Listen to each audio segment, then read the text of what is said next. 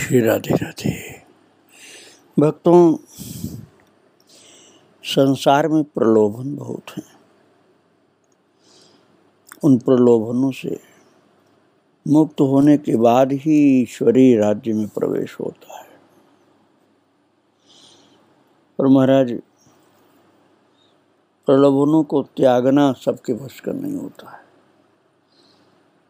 प्राय व्यक्ति जानबूझ करके प्रलोभनों की प्राप्ति के लिए प्रयत्नशील हो जाता है। और यहाँ तो उड़िया बाबा को स्वयं दिया जा रहा था सब कुछ। मंत्र सिद्धि, धन, संपत्ति और विवाह के लिए कन्या भी दे रहा था वो व्यक्ति। जिसके पास सिद्धि थी। लेकिन उनको तो बहुत बंधन लगा और मुँह से निकला, हाय हाय, सिद्धि के लिए विवाह, हाय, सिद्धि के लिए विवाह, बाबा, ऐसी सिद्धि हमें नहीं चाहिए। ये तो धोखा है, प्रलोभन में फंसना है। इतना ब्रह्मचर्य का उस समय महाराज, प्रभाव था विवाह का अर्थ उन्होंने सोचा कि सर्वनाश है। मैं भूल कर भी चक्कर में नहीं पड़ सकता। और फिर आगे, स्टीमर से ब्रह्मपुत्र नदी पार करके ग्वालपाड़ा पहुँचे। जहाँ भी जाते थे, घोर एकांत में निवास करते थे। धूनी लगाकर बैठते। पास में त्रिशूल गड़ा रहता। सूर्य और अग्नि की किरणें पड़ने से त्रिशूल दुगुना चमकता था। इस प्रकाश पुंज में अग्नि स्वरूप श्री ब्रह्मचारी जी, बुढ़िया बाबा उस समय ब्रह्मचारी जी कहे जाते थे, वो अपने दिव्य तेजों में मुखमंडल से दसों दिशाओं को जगमगा रहे थे। रात दिन एक आसन से बैठने का अभ्यास करते थे, क्योंकि इनको विश्वास था कि निरंतर एक आसन से बैठने से अवश्य ऊर्ध्वता हो जाऊँगा। और आप लोगों को बता चुका हूँ ऊर्ध्वता का तात्पर्य वीर क्षय नहीं होगा वीरपात नहीं होगा, वो ऊर्ध्वगामी हो जाएगा, ऊपर की ओर जाएगा, उससे दैवी शक्ति प्राप्त होगी। ईश्वरीय कृपा प्राप्त होगी। और इसी उद्देश्य से निद्रा, तंद्रा, आलस्य, ये सबको जीत करके निरंतर साधन में जुटे रहते थे। और वक्त तो भोजन प्रसाद भी बहुत अल्प मात्रा में लेते थे। जिससे नींद ना आए। रात दिन गायत्री का जप करना दाल शाक चावल मिला करके एक लोटे में पकने के लिए धुनी में रख देते थे। कभी कभी उसमें आटे के गोले से बनाकर डाल देते थे। तो वो भी आटे के गोले जो होते थे, उसको भी पा लेते थे दाल, साग के साथ। और रात्रि में जागते हुए दुर्गा माता को जैसे जगा रहे थे, नव दुर्गा को। अग्नि प्रज्वलित हो रहा था। मानो कामारी शंकर अपनी जटाएँ बिखेर करके तेजो में नेत्रों से निर्भय होकर अपने गंतव्य लक्ष्य को निहार रहे इतने में ही शेर और शेरनी गरजती हुई आई। और दोनों के नेत्रों को तेजोमय नेत्रों ने चकाचौंध कर दिया। क्रूरता उनके स्वभाव से लुप्त हो गई। दोनों ही सूंघते और मानो जुहारते हुए चले आए। ये थी पुरुष सिंह की महिमा। क्या सामान्य पुरुष शेर और शेरनी के जंगल में आने पर टिक सकता है? ये तो ब्रह्मचारी का तेज था, जो निर्भयता पूर्वक बैठे हुए जप करते रहे। हिलने डुलने और घबराने की कोई बात नहीं थी। इससे आगे परशुराम कुंड तक की यात्रा की। वहाँ क्षत्रियों पर विजय प्राप्त करके परशुराम जी ने तप किया था। इसी प्रकार फिर नर मांस भोजी मनुष्यों और मदोन्मादनी कामिनियों पर विजय प्राप्त करके महाराज ने अद्भुत विजय प्राप्त की। इस प्रांत में बड़ा जंगल था दोस्तों हिंस पशु तो रहते ही थे हिंसक पशु। और नर मांस लोलुप मनुष्य भी थे, जो मनुष्यों को मार कर खा जाते थे ऐसे क्षेत्र में गए थे महाराज। यदि वहाँ कोई साधु जाता तो कहते थे, काशी लामा आया है। इसने सब तीर्थों की यात्रा की है। इसके मांस और रुधिर बहुत पवित्र हैं। इसे खाने से जीवन पवित्र हो जाएगा और पितरों का उद्धार हो जाएगा। चल, बड़े भाग्य से ऐसा अवसर मिलता है। इन नरभक्षियों के भय से लोग प्राय उधर जाते ही नहीं थे। आप सोचिए कि कितना भारी अज्ञान है सत्संग न मिलने के कारण। कि सेवा की जगह वो जो भजन किए हुए लोग हैं, उनको खाने पर विश्वास था इनको खा जाएँगे तो पितरों का उद्धार हो जाएगा, जीवन पवित्र हो जाएगा। तो संतों को मार करके खा जाने वाले नरभक्षी लोग वहाँ जंगल में रहते थे।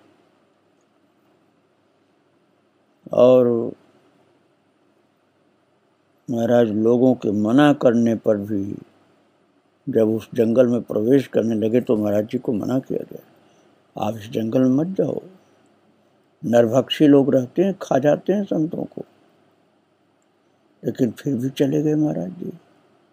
अर्थात ब्रह्मचारी जी। और वे लोग इन पर झपटे परंतु ब्रह्मचारी जी ने त्रिशूल उठाया डराने के लिए और तीव्र दृष्टि से उसकी ओर देखा। वो दृष्टि जगत जननी की दृष्टि से मिली हुई थी। वो त्रिशूल महिषासुर मर्दनी के त्रिशूल से सटा हुआ था। तथा देवी का कवच धारण किए हुए था। अतः उन नरभक्षियों का साहस नहीं हुआ। सबके हाथ जहाँ के तहां रुक गए। कोई बाल बांका नहीं कर सका महाराज। और आगे बढ़ने पर एक संकट और उपस्थित हुआ। वहाँ की युवतियाँ बहुत रूपवती होती हैं। उनका रूप लावण्य युवकों को पागल कर देता है। जब ये युवतियाँ किसी साधु को फंसा लेती हैं तो उनके माता पिता उन्हें प्रोत्साहित करते हैं और कहते हैं कि, शाबाश, तुमने बड़ा बहादुरी का काम किया। वे अपनी कन्या की विजय सूचित करने के लिए साधु के एक जटा काट करके ध्वजा रूप से एक खंभे में बाँध कर अपने मकान पर लगा देते हैं। अपनी लड़की की विजय से प्रसन्न होकर के प्यार से उसे चूमते हैं। और उसके चंगुल में फंसे हुए साधु से कहते हैं, महाराज, वहाँ के जंगल की सभ्यता की बातें हैं। सामान्य शहर गाँव की बातें मत समझना आप। साधु से कहते हैं, वो लोग, आनंद से रहो, चिंता मत करो। लो, भेड़ और आनंद से विहार में जीवन। बिताओ। इस प्रकार धीरे धीरे उसे अपने में मिला लेते और महाराज ब्रह्मचारी जो उड़िया बाबा जो उस बाद में बनते हैं, उनको अनेक सुंदरियों ने घेरा। परंतु त्रिशूल उठा करके कहा, हटो, नहीं तो मार दूँगा त्रिशूल। उनकी वीरता, धीरता, तेज और ब्रह्मचर्य निष्ठा ने ऐसा प्रभाव डाला कि वो देवांगना जैसी सुंदरियाँ स्तंभित और वंचित होकर के हार मानकर चल पड़ी, भाग गई। कहने लगी, ये तो कोई अद्भुत देव मानुष है।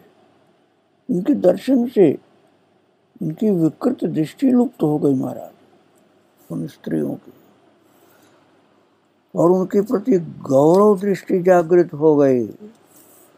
फिर पास आने का साहस नहीं हुआ। ये सामान्य मनुष्यों की बात मैं नहीं आपको सुना रहा हूँ। उड़िया बाबा जैसे सिद्ध महापुरुष की बात सुना रहा हूँ। इस प्रकार काम और क्रोध पर विजय पा करके फिर कामाक्षा लौट करके आए वहाँ माँ का दर्शन किया। और उनकी कृपा दृष्टि के स्मरण से गदगद हो करके बड़ा पेटा नाम की जगह पर फिर गए और वहाँ भगवान काली एकांत का दर्शन किया। घूमते घूमते रानीगंज पहुँचे। वहाँ एक स्वप्न देखा। एक सुंदर पुष्प वाटिका से सुशोभित राजमहल है। उसके द्वार पर एक पहरेदार है और उसमें बिना रोक टोक प्रवेश कर गए। अंतपुर में पहुँचने पर हज़ारों देवांगनाएँ दिखाई दी। उनकी अलौकिक सुंदरता से वो सारा स्थान भरपूर था, जगमगा रहा था। और वहाँ पर पहुँचने पर सोचा कि यहाँ तो नहीं जाना चाहिए। यहाँ दृष्टि डालना भी ठीक नहीं है। फिर वहाँ से भाग छूटे। फिर कोई आवाज़ हुई ज़ोर की। ये स्वप्न में सब देखा था भक्तों। और आवाज़ जब हुई तो निद्रा टूट गई, स्वप्न भंग हो गया। तो महाराज जी कहते थे कि सारा संसार जगदम्बा की फुलवाड़ी है। इसमें स्त्रियाँ भी उस फुलवाड़ी को अलंकृत करने वाले पुष्पों के समान हैं। जो इन पुष्पों पर दृष्टि नहीं डालते, केवल जगदम्बा पर ही दृष्टि डालते हैं, वे ही प्राप्त कर सकते हैं सब कुछ।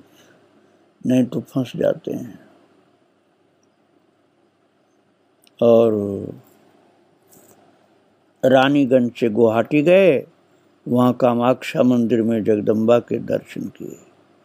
फिर भगवान काली एकांत के दर्शनार्थ बड़पेटा पहुँचे।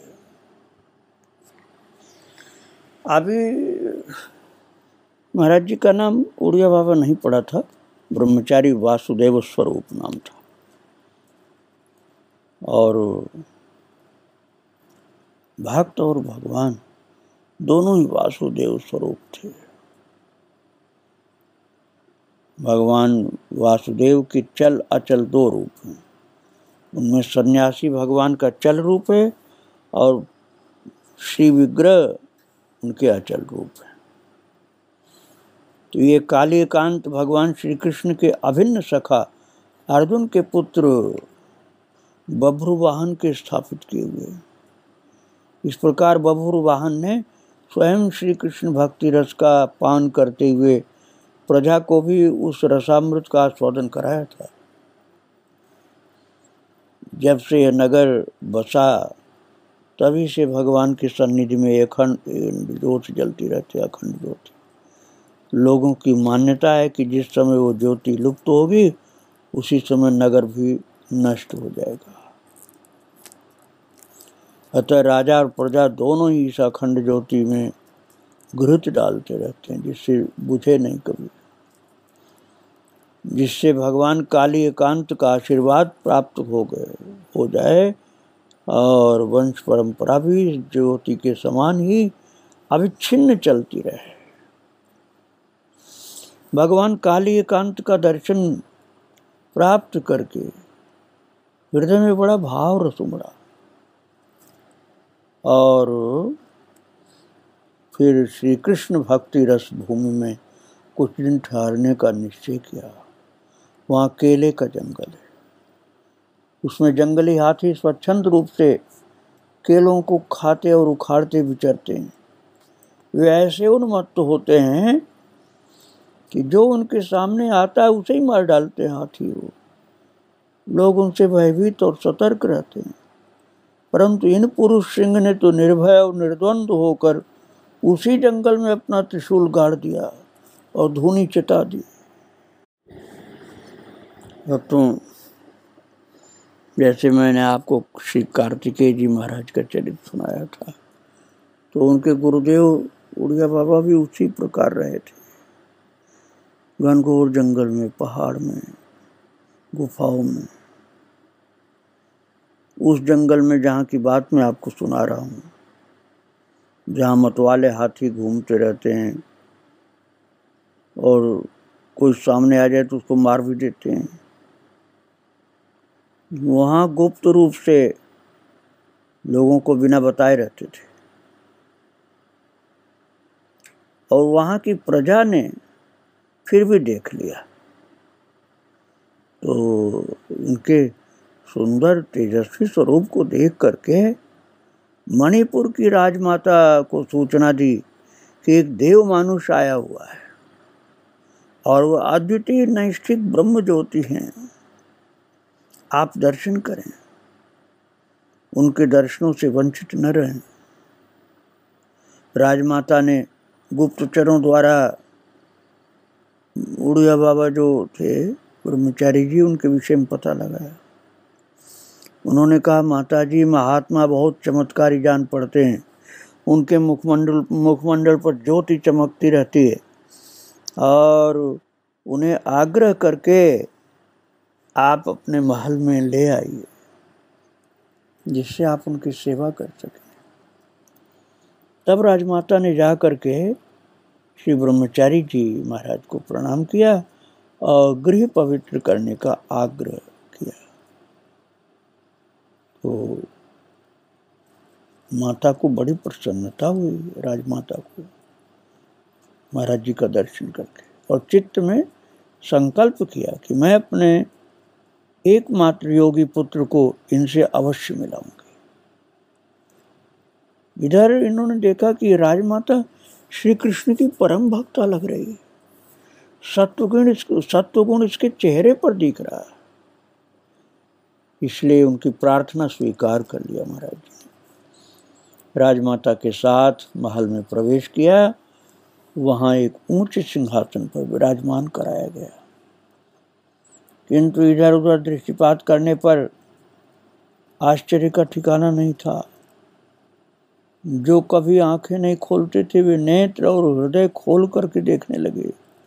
क्या देखा? समस्त श्री कृष्ण लीला चंदन की लकड़ी में खुदी हुई है। मानो चंदन कह रहा है कि महाराज, आपको केवल चर्चित करने से ही मैं संतुष्ट नहीं होता। आप मुझमें ओतप्रोत हो जाएँ। और आप में ओतप्रोत हो जाऊँ, यही प्रेम सगाई की मांग है। इस प्रकार लीला पुरुषोत्तम ने अपनी समग्र लीलाओं में ओतप्रोत कर लिया। थोड़ी सी चंदन की सेवा ने मानो श्याम और श्याम को उनके लीला परिकर सहित मोल ले लिया। इस लीला चित्रण को देख करके उनके हृदय पर अंकित वृंदावन विहारी, वृंदावन स्थली और वृंदावन माधुरी ने भाव विभोर कर दिया। और श्री ब्रह्मचारी जी का रोम रोम नाच उठा और कंठ गदगद हो गया। अपने भाव को बहुत छिपाया, लेकिन राजमाता ने ताड़ लिया। बोली, महाराज, ब्रह्मचारी जी इस लीला चित्रण का उद्देश्य यह है कि नेत्र अन्यत्र न जाएँ, श्याम ब्रह्म दृष्टि में गड़ जाएँ। श्याम ब्रह्म जो है ना हमारे प्रभु उन्हीं में दृष्टि गड़ जाए और श्याम लीला मृत सिंधु में लीला का जो अमृत सिंधु है उसमें घुल मिल करके चित्त लहराता रहे इसका एकमात्र उद्देश्य यही है जैसे बने वैसे ही बुद्धि कृष्ण रस से भावित रहे आपसे एक प्रार्थना और है। मेरा एकमात्र पुत्र इस राज्य का अधिकारी है। उसके पिता बाल्यावस्था में ही परलोक प्रयाण कर गए। किंतु इस बालक ने जैसे जैसे होश संभाला, वैसे वैसे इसको एकांतवास और भगवत भजन की ओर ही रुचि बढ़ती गई। मैंने भी खुशी मनाई। अच्छा है बचपन से इसे भगवत भक्ति में अनुराग है। इस बाल भक्त पर भगवान अवश्य कृपा करेंगे। हम दोनों प्रातः काल तीन बजे से मध्यान्ह होने तक, बल्कि मध्यान्ह के बाद तक, तीन बजे तक, प्रातः तीन बजे से शाम के तीन बजे तक, बारह घंटे। भगवत भजन में तत्पर रहते हैं। फिर उसके बाद भात, केला शाक और मूंग की दाल भगवान को भोग लगाते हैं। और प्रभु को भोग लगाने के बाद वही प्रसाद पाते हैं। उसके पश्चात स्वाध्याय आदि करते हैं और रात्रि में नौ बजे से ग्यारह बजे तक माता ने कहा, राजमाता ने कि मैं कचहरी करती हूँ। बालक अब वयस्क हो गया है। उसका शील स्वभाव अच्छा है। उसने आज तक मेरे सिवा किसी अन्य स्त्री का मुख नहीं देखा है। मैं अब वृद्ध हो रही हूँ। आप उसे समझा दें। वो कुछ राजकाज संभाले और मैं अपना अंतिम जीवन संभालू। तो महाराज, शिवड़िया बाबा जी बोले अपने पुत्र से मिलाइए माँ। और माँ राजकुमार की पूजा स्थली में ले गई महाराज जी को। युवराज ने साष्टांग प्रणाम किया और दर्शन करके वो भाव विभोर हो गया। तो माँ की इच्छा प्रकट किया महाराज जी ने। राज्य संभालने का अनुरोध किया। राजकुमार ने कहा, महाराज जी, क्या कहूँ? मेरा बाल चापल क्षमा करें, ये संसार अजगर है, मुँह फाड़े, बैठा है। रागत द्वेष इसके दांत हैं, इन्हीं से सब कुछ चबा जाता है। मैं तो इस रागत द्वेष में, व्यवहार में पढ़ना नहीं चाहता हूँ। महाराज कैसा अद्भुत राजकुमार था वो। तो महाराज जी ने सोचा उड़िया बाबा ने, कि ये कोई पूर्व जन्म का योगी है, इसका ऐसा संयम है, ऐसी तन्मयता है, सचमुच अत्यंत संस्कार होने पर ही ऐसी मनोवृत्ति प्राप्त होती है। सभी को नहीं ऐसा हो सकता है। जिस मननशील साधक का अन्य प्राणियों के साथ दर्शन, स्पर्श और संभाषण भी नहीं होता, वो परम निश्रेयस को प्राप्त कर लेता है।